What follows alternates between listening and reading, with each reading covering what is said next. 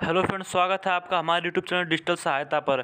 तो आज हम आपको बताने वाले हैं कि आप अपने आधार कार्ड में रजिस्टर्ड मोबाइल नंबर को किस प्रकार से पता कर सकते हैं कि आपका आधार कार्ड कौन से मोबाइल नंबर से लिंक है।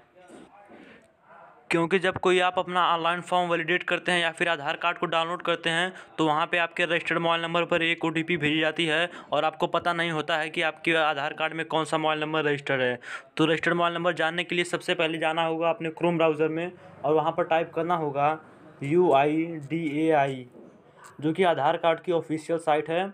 इस साइट पर जाने के बाद आपको नीचे आना है और यहाँ पर आप देखेंगे कि आधार सर्विस के अंदर वेरीफाई एन आधार नंबर का ऑप्शन होगा, जिस पर आपको क्लिक करना होगा। इस पर क्लिक करने के बाद यहाँ पर आपको आधार कार्ड नंबर और कैप्चा फिल करना है। आधार कार्ड नंबर और कैप्चा भरने के बाद आपको प्रोसीड टू वेरीफाई पर क्लिक करना होगा। उसके बाद आप देख सकते हैं कि आपकी एज बॉन्ड क्या है।